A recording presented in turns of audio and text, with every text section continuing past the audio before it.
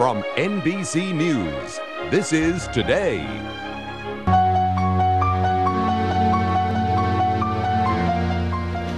We're back now with a countdown to Halloween. It falls on a Saturday this year, next Saturday, and some of the spookiest getaways around are offering value deals to lure folks for the weekend. Travelzoo's senior editor Gabe Saglie is here with more on that. Gabe, good morning. Always good, good to morning, have you on. Yeah. I, am shocked that there's certain hotels that actually embrace their image for having haunted rooms or, or haunted portions well, of the there's place. so many stories that they can't ignore them. Some have actually full-time historians just to uh, collect these stories, archive them, because they're out there. They abound. Let's talk about some of them. The Queen Mary, which is, Right. has been berthed in, in Long Beach, California Sure. for a long time, served in World War II to carry troops. What's the story there? Rich history. Well, some paranormal experts say the Queen Mary is home to at least 200 entities.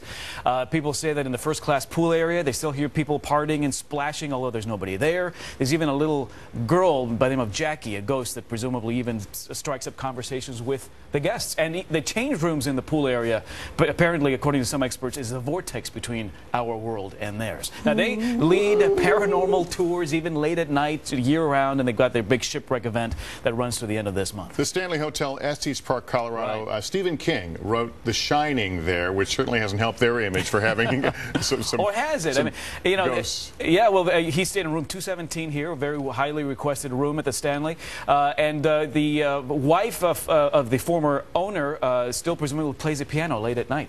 Uh, the fourth floor, particularly, uh, the uh, site of many paranormal activity at the Stanley Hotel. All right, some of the wounded soldiers from the Alamo were kept at a place called the uh, the Emily Morgan Hotel in San Antonio, Texas, and that has helped create the legend Sure. that some of them still exist. And it's a beautiful hotel, Gothic architecture. They have a stainless steel pool, but it, especially in the seventh and ninth floors, uh, we're talking about uh, temperature anomalies, uh, s- you know, shaking and rattling of doorknobs, and people will look out into the courtyard of the Alamo, and they they'll say they'll see ghosts come out at night for a stroll. Hotel Del Coronado, famous hotel on the beach there outside San Diego. They, that's a hotel that has embraced the stories of ghosts. They have a full-time uh, person on the site who's a historian, archives all these stories that people say.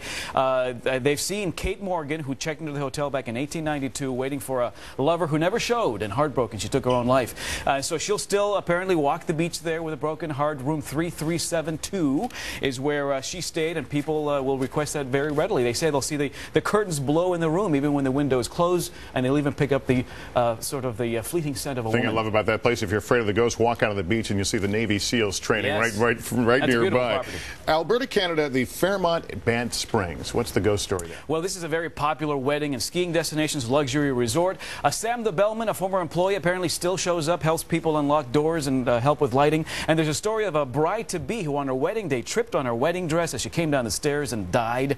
Apparently she's still seen descending the stairs and even taking a dance or two in the ballroom there. It's a gorgeous looking place. It is a beautiful uh, uh, place there in Alberta. Yeah. Gabe Saglie, thanks for coming on. Thanks, Lester. Happy, Halloween. We'll be back after these messages.